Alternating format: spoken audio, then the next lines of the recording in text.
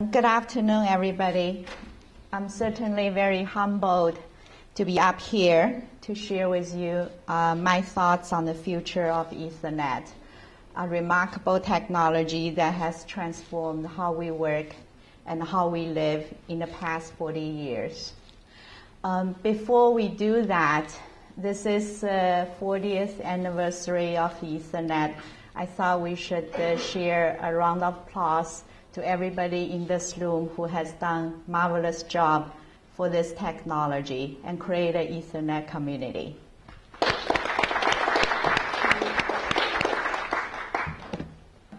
So before we talk about the next 40 years of Ethernet, it certainly feels right to pay the tribute to the gentleman who invented it 40 years ago, um, Bob Metcalfe. Uh, when I was thinking about that, I wondered when Bob invented this great network to connect PC, to, uh, multiple PCs to a printer, whether he thought about what the impact of this technology will create in 40 years. But we know one man did. And he did that in 1983. So now many of us, or at least myself, still want to grow up to be Steve Jobs. Uh, in 1983, Steve Jobs gave a speech at the event called the International Design Conference in Aspen. His prediction of the growth of PCs, wireless network, and home network were certainly spot on. So in preparing for this presentation, I thought it would have been great if I could get Steve's advice as well. Since Steve is not here, I uh, asked Siri for some guidance for the future of Ethernet. So Siri first asked to think about it. Then she took a short pause.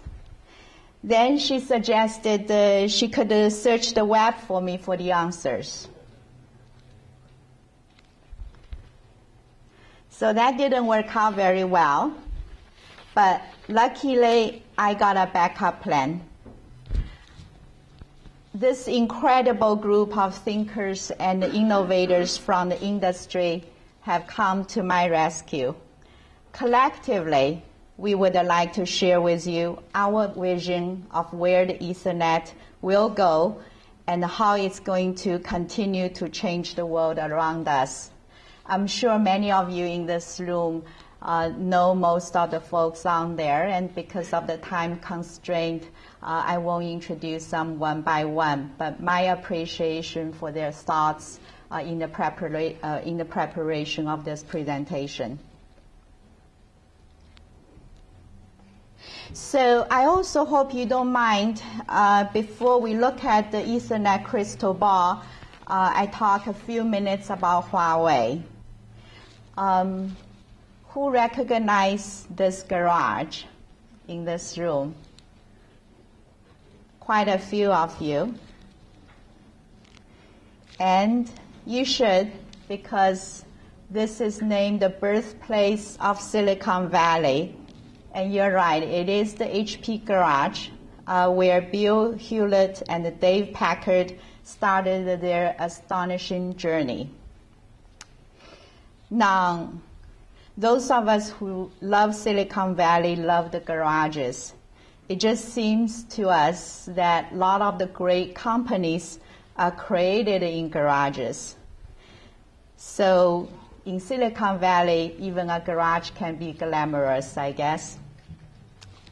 Um, 40 years later, after the birth of Silicon Valley, in China, China, Chinese government created its first special economic zone in a fishing village called Shenzhen, and that was 1979. Few years later, a gentleman called Mr. Ren Zhengfei started a company called Huawei with about $3,000. So even though there was no garages in Shenzhen at that time, Still, there are not, uh, not many garages in Shenzhen today because most people live in apartments. Huawei was and still is the HP fairy tale for many Chinese entrepreneurs. So this is Huawei today, a little bit bigger than $3,000 with annual revenue of 38.7 billion, 26,000 patents, 25 innovation centers globally, and uh, 70,000 R&D staff globally. These are some of the major milestones Huawei has accomplished along with that $38.7 billion revenue. Number one in telco infrastructure, number two in video conferencing, carrier switches and routers, and the most recent achievement is the third place for smartphones. So while it has been exciting for a technology company headquartered in China to accomplish these great milestones, what we are most mostly excited about is how these milestones can help us to accomplish our next vision mission. Huawei believes the world of information technology and the world of communication technology will converge to create the ICT infrastructure Cloud computing and BYOD require integrated platform of compute, storage, network, optical, wireless, and mo- mobility technologies at a global level. Uh, our leading positions in both information technology and com- communication technology put us in a unique position to help creating the ICT platform where the future Ethernet will be riding on. Now, even for a $40 billion company, creating the global ICT platform sounds like a daunting task. Fortunately, we have other pioneers who have shown us the way in other industries. Toyota globalized the glo- uh, auto industry in 1980s. Southwestern Airline brought quality and value to air travel. Apple and Samsung have taken cell phone industry to a whole new playground. These folks led the transformations that have changed the way we drive, we fly, we talk, and the, the time has come for us to work together to change the way we compute. And now it's time for us to talk about the crystal ball of Ethernet. Now, you probably have seen many network speed uh, roadmaps before, um, but you probably have not seen a version that goes as far as 2053. So you're seeing this the first time alive. alive. Data center speed is, is exploding and will continue to do so. Meanwhile, wireless will continue to drive the growth of the edge network. We in general would like in this presentation to look at the next 40 years in two stages, 2013 to 2033, 2034 to 2053. So I'll simply refer them to the terabit era and petabit era. We predict the data center speed will reach 10 terabits per port, while the wireless LAN will reach hundreds of gigabit per port by 2033. By 2053, data center will reach petabits and the wireless LAN will reach 50 terabits. The question is, therefore, what are we going to do with the terabit network? we all know video is going to be a huge driver for the next 20 years, so I'm showing an example of that. Consumers will no longer be happy about playing Skype video anymore. So this is a picture of a concert uh, that happened in Coachella. You probably noticed uh, Snoop Dogg and uh, uh Tupac are on the stage together. And how did that happen? It was through three projectors of one terabit live video stream. The artists and the, IT professionals have made this become a reality. People want more and more the experience of being there by not being there. Technology perhaps will makes it harder and harder to differentiate illusion from reality. And hopefully that's a good thing. The next big application, you probably haven't missed this throughout the conference, is big data. When we talk about big data, we always think of Facebook. Uh, even though the Facebook nation has 1 billion people now and 1 trillion connections, Facebook only represents the beginning of the big data, actually. Um, but we have already seen the amount of traffic it has brought to the network. Now, big data and video growth are also interconnected as young generations seem to have replaced the numbers with videos. A good example is my daughter seems to spend much more time on YouTube than doing math. So IDC believes big data hasn't exploded yet because the new generation of sensors haven't taken off. When that happens, we will see a lot more applications and a lot more data and its analytical results to be put on network. So that will be really cool. A lot of applications can be generated from that. One of the things I can think of is uh, it might be cool to get up every day before get on a 280 highway to go to work, figure out how many BMWs are on the road. And it will be possible. So the next question, of course, is what are the technology elements we need in order to handle the terabit content? The first barrier we need to break is on the device level copper will no longer be sufficient to handle that kind of data rate. The new generation of silicon photonics have promised to bring optical networking capability that's traditionally only seen in long distance networks to the chip level. And that is very exciting.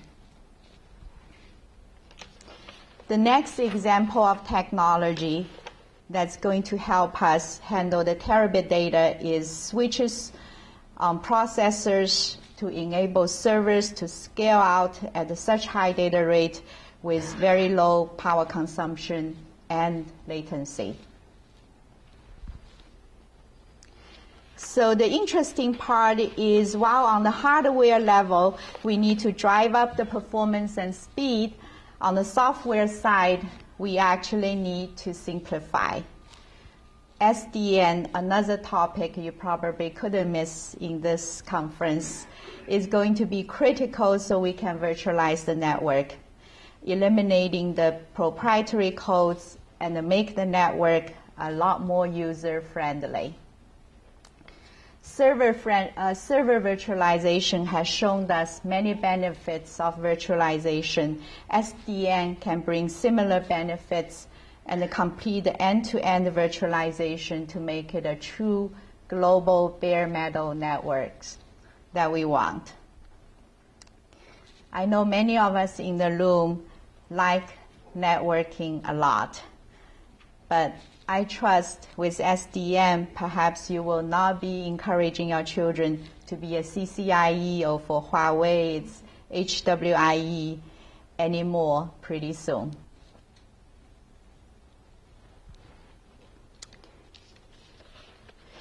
So we are at an inflection point that we will see a lot faster transitions, not only in technologies, which was the focus of previous slides, but also in the players and the business models.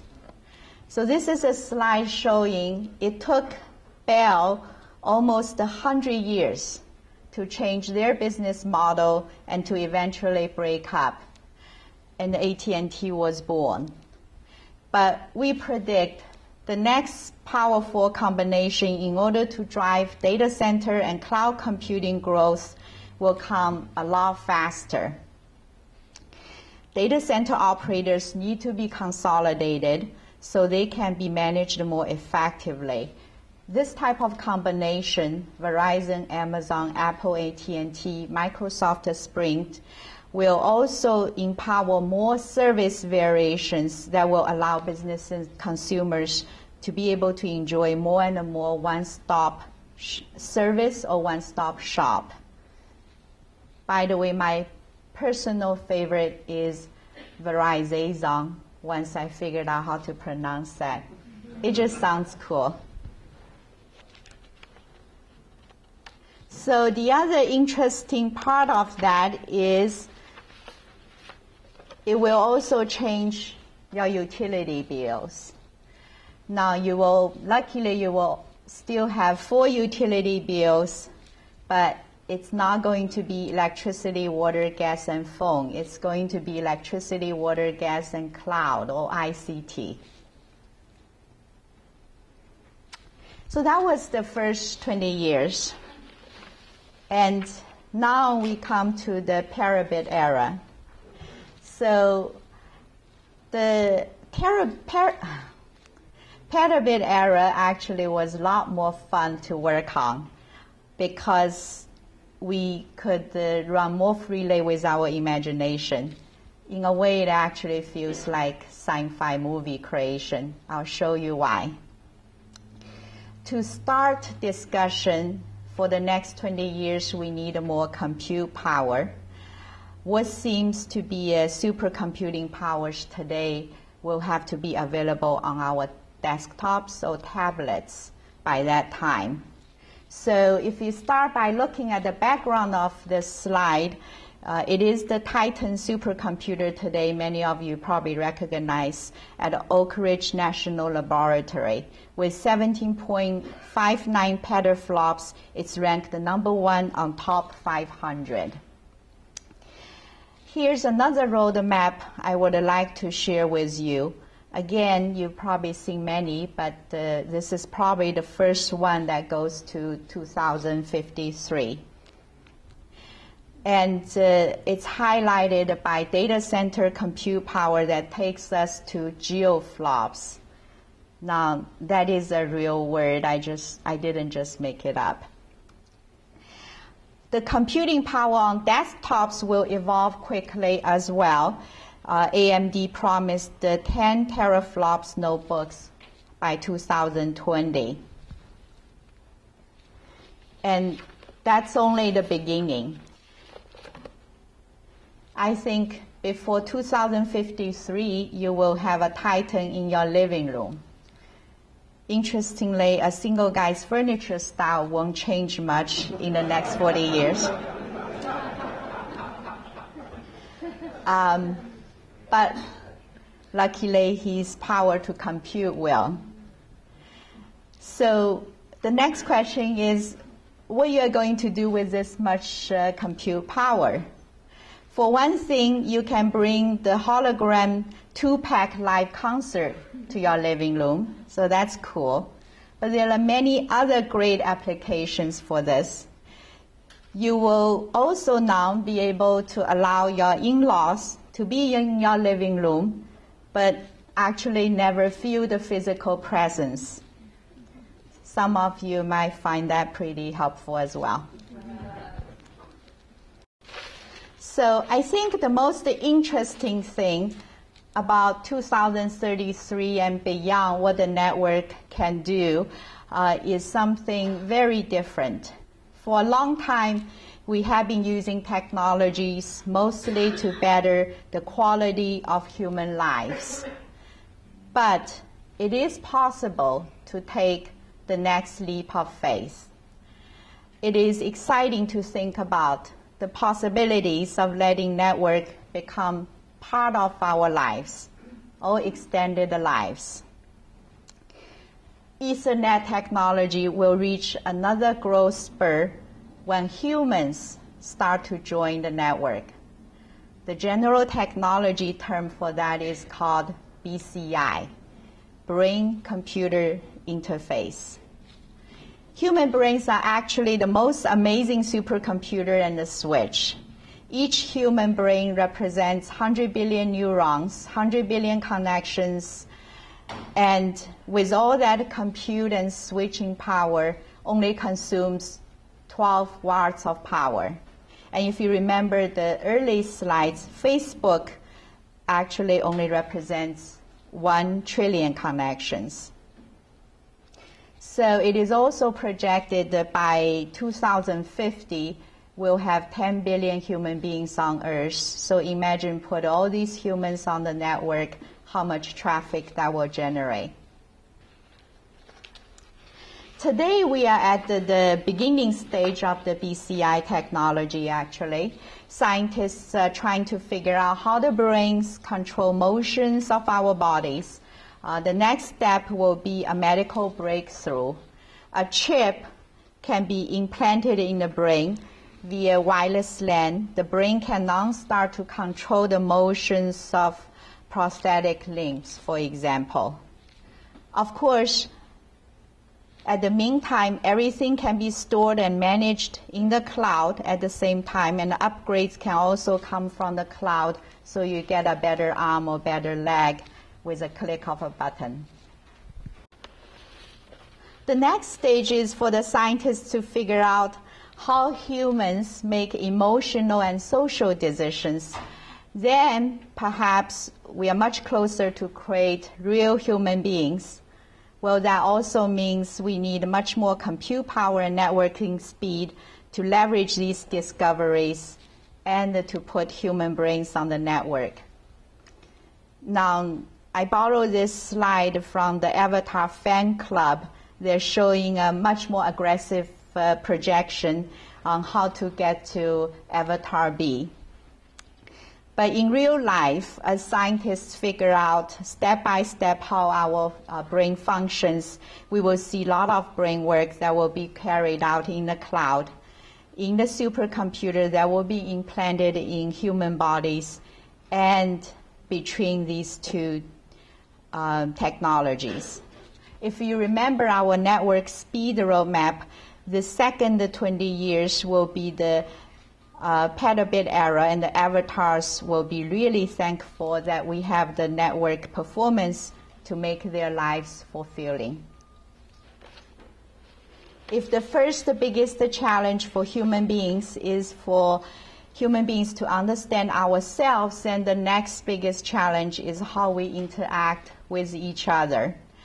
Perhaps future generations will see network continue to play a critical role beyond the 2053 in building a true human network, whatever medium that's going to take place in, and stay connected and communicate much more effectively. I'm afraid uh, that's all the time we have today to talk about the next 40 years of Ethernet. Some of the ideas might seem to be crazy to you, but Facebook might have seemed to be crazy idea to people perhaps 40 years ago. Our right to dream might be our best attribute that computers can simply replace.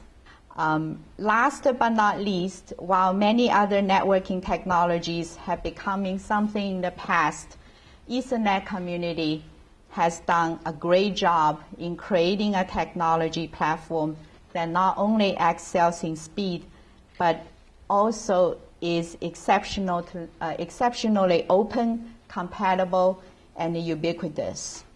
This tradition will continue to be critical for the next 40 years of Ethernet evolution, and I'm sure will be carried out to the next level by many of you in this room and online on the webcast.